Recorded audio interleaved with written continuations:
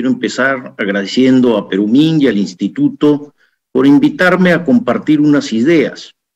Ideas que además están perfectamente alineadas con lo que hemos venido escuchando a lo largo de esta mañana. Eh, yo le quiero dar un giro distinto a la, presentación, aunque las ideas son en, en esencia lo mismo. Siguiente, por favor.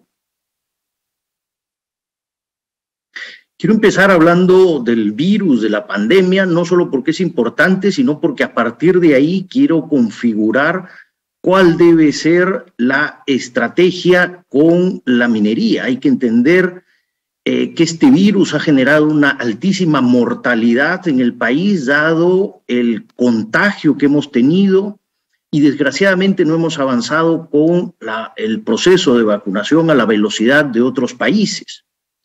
Pero utilizando este símil, quiero ver a la minería como nuestro paciente cero. Es decir, nuestro paciente que va a contagiar no de mortalidad, sino de prosperidad a toda la economía. Y hay un rol muy importante del Estado en lo que eh, facilitar el contagio. Cuando hablamos en términos negativos del virus que afecta la mortalidad, hay que aislar y hay que vacunar. Cuando hablamos del virus de la prosperidad, hay que facilitar el contagio y hay que evitar las vacunas. Luego hay que ver el impacto en la propagación de esta prosperidad y cuáles son los canales. Finalmente, los virus tienen mutaciones y en este caso concreto es la innovación que se genera. Y finalmente, cuál es el potencial de largo plazo con este contagio de prosperidad. Siguiente, por favor. Empecemos pues con el virus. ¿no? El 6 de marzo, sí, siguiente. El 6 de marzo del 2020 se reportó nuestro primer paciente de COVID-19 en el Perú. Arribó el 26 de febrero, nos dimos cuenta muy tarde y como él llegaron muchos más. Y el proceso de contagio avanzó muy rápido a lo largo de los siguientes meses, con altísima mortalidad. Siguiente. A la fecha tenemos más de dos millones de personas contagiadas en nuestro país. Hemos pasado por dos olas y se especula que puede existir una tercera ola con una variante delta mucho más peligrosa. Siguiente. Hubo una respuesta muy rápida. Aquí vemos el índice de severidad en línea roja para el Perú comparado con otros países de la región. Fue extremadamente severo. En el lado derecho vemos los datos de movilidad de Google, pero básicamente acá estamos hablando de la economía formal de nuestro país, porque como en muchas de las políticas públicas, la parte formal obedece las reglas, la parte informal no obedece las reglas, pero el Estado no le presta la atención debida. Y entonces, siguiente, por favor. Tenemos malas políticas públicas que facilitan este contagio del virus que genera mortalidad. Siguiente. Y a la fecha, pues lo que tenemos es eh, eh, el primer lugar en el mundo de personas fallecidas por millón de habitantes. Siguiente. Y si vemos el año 2020 y nos comparamos con países de la región, hemos tenido, gracias a estas malas políticas sanitarias y malas políticas económicas, hemos tenido eh, la tasa de mortalidad más alta de la región y del mundo, y una de las caídas más graves del producto. Más del 11%, el promedio en la región ha sido de 11%, perdón, de 7% de caída frente al 11% de caída del Perú. Siguiente. Y en el proceso de vacunación también vamos a la saga en, eh, eh, en la región y en el mundo. Estamos a, a la fecha con 24% de vacunación. Siguiente, por favor. Entonces, veamos, como les decía al inicio, el símil de esto con la minería. Y veamos la minería como paciente cero. Y en esta primera lámina podemos ver el alto potencial minero del país. Estamos en el primer cuartil en términos de competitividad en potencial minero en el mundo. con tarifas de electricidad. La minería es intensiva en electricidad, bastante razonable si nos comparamos con la región. Siguiente. Estas son cifras que ya todos ustedes eh, conocen muy bien en términos de producción y reservas. Estamos liderando los rankings en el mundo en distintos metales, plata, cobre, zinc, estaño, plomo y oro. Siguiente.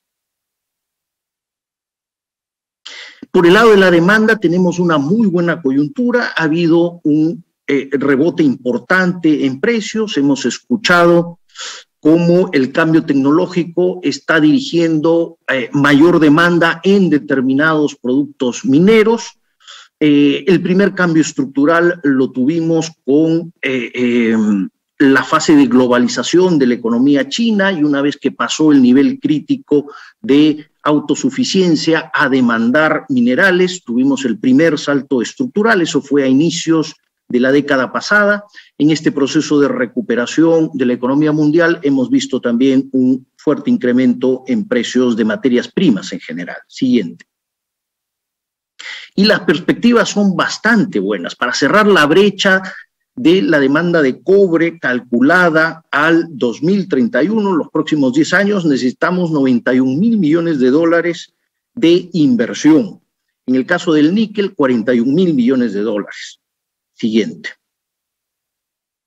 Entonces, tenemos un enorme potencial, tenemos un paciente cero con un enorme potencial de contagio. Pero, ¿cuál ha sido el rol del Estado en términos de aislamiento y vacunación de este virus de prosperidad. Lo han señalado de manera indirecta a lo largo de las tres charlas de la mañana, no tenemos estrategia.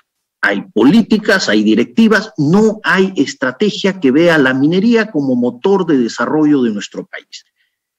Singapur tiene una estrategia basada en temas logísticos, Noruega lo tiene con el tema de hidrocarburos, Australia lo tiene en el tema de minería, Canadá lo acabamos de ver, centrado también en el tema de minería. Siguiente, por favor. Y en la región tenemos ejemplos de países que han basado estrategias de desarrollo en temas concretos. Panamá igual, el tema logístico, Chile minería, República Dominicana en el turismo, Botswana en África basado en minería y en Perú tenemos evidentemente un paciente cero que puede contagiar de prosperidad a nuestro país y no lo estamos haciendo. Siguiente. Aquí viene una de las primeras vacunas muy fuertes que tenemos, permisología.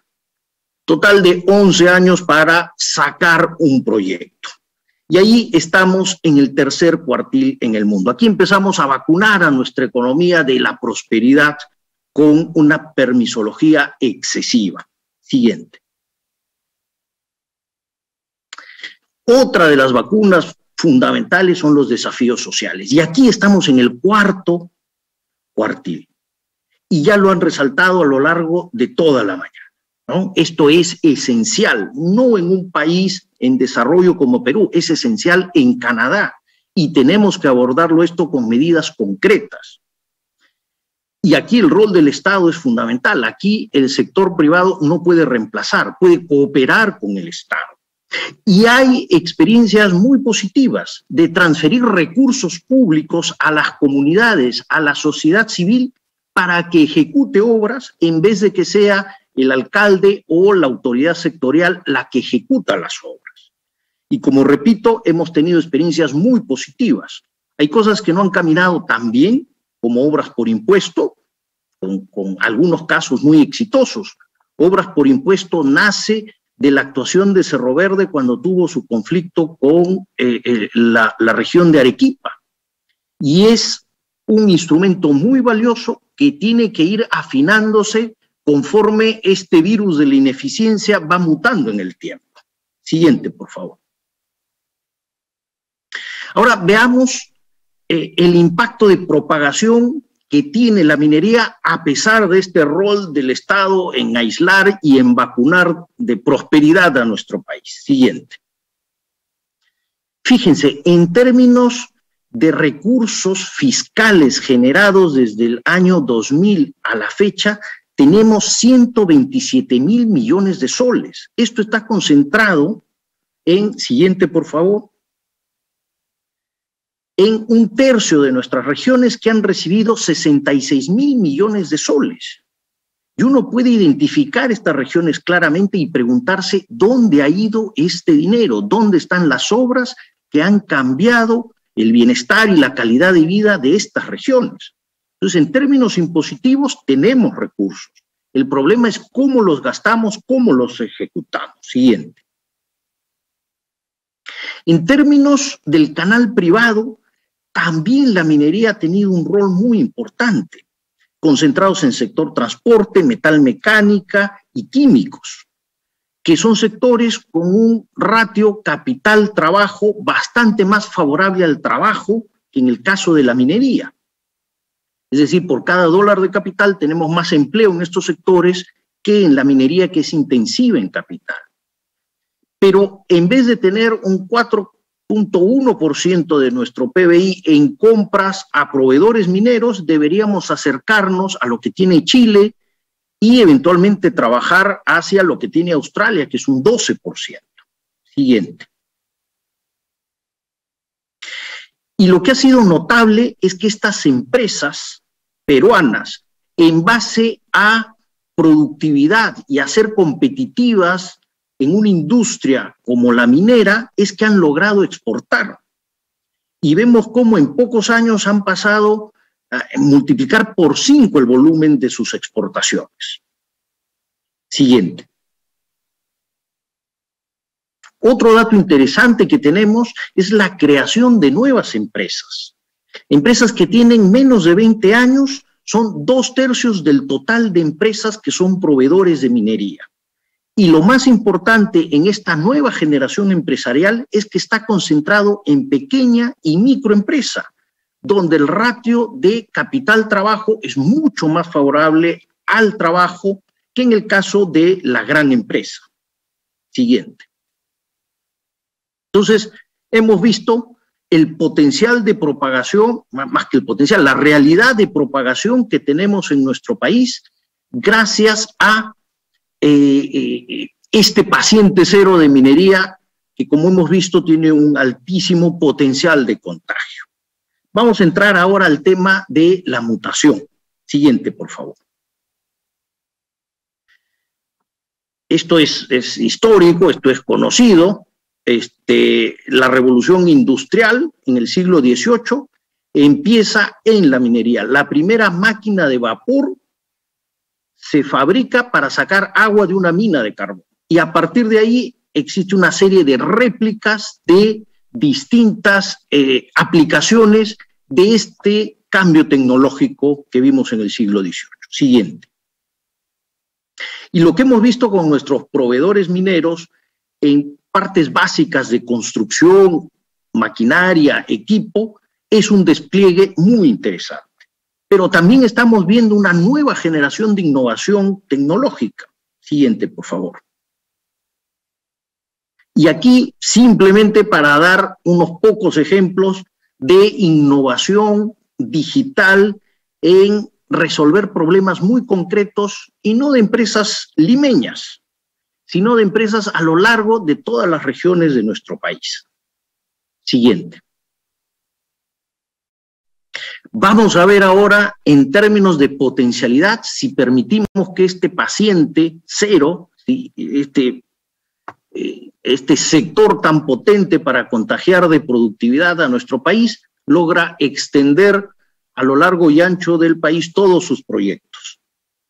Lo que tenemos son 56 mil millones de dólares de proyectos mineros. La, casi la mitad está concentrado en la zona sur del país, que es una zona con alta conflictividad social. Las compras del sector minero a los proveedores nacionales tienen en estos años un promedio de 10 mil millones de dólares. Si desarrollamos todos estos proyectos, vamos a llegar a cerca de 24 mil millones de dólares anuales de demanda de productos y servicios a proveedores mineros. Básicamente estamos multiplicando por 2.4 la capacidad de generación de empleo sin hacer nada más. Si tenemos un plan de desarrollo de manufactura, de servicios para proveedores mineros, esto puede ser muchísimo más importante. Siguiente, por favor. En términos de contribución de recursos fiscales, esto es todavía más potente. Lo que tenemos en los últimos años son promedio de 7 mil millones de soles anuales. Para el 2031 podemos tener cerca de 25 mil millones de soles anuales. Buena parte de esto va a las regiones. El tema entonces es cómo somos mucho más eficientes para poder ejecutar estos inmensos recursos que tendría el país. Siguiente. Y cuando uno ve los corredores económicos territoriales que tenemos en el país, que integran zonas económicas, tenemos 22 corredores perfectamente identificados por el Ministerio de Transporte y Comunicaciones. Siguiente, por favor. Si nos concentramos en la zona sur del país, tenemos seis grandes corredores económicos. Tenemos 60 mil millones de soles de inversión en proyectos tanto privados, fundamentalmente mineros, pero también de infraestructura pública, de energía, APPs, temas agrícolas, que pueden cambiarle la vida a más de 5 millones de peruanos que viven en la parte, en la región sur del país siguiente. Y si hacemos una proyección de largo plazo, asumiendo un PBI potencial de 4%, que es lo que está en el marco macroeconómico eh, recientemente publicado, si desarrollamos esta cartera de proyectos con todos los impactos de propagación en otros sectores, lo que vamos a ver es un crecimiento promedio no de 4, sino de 7,5. Al 2031 podríamos alcanzar los niveles de ingreso per cápita que tiene Panamá, eh, que ya superó a Chile en términos de PBI per cápita en la región. Y con eso concluyo la presentación. De nuevo, muchísimas gracias por invitarme a compartir algunas reflexiones sobre el potencial de desarrollo minero en el país.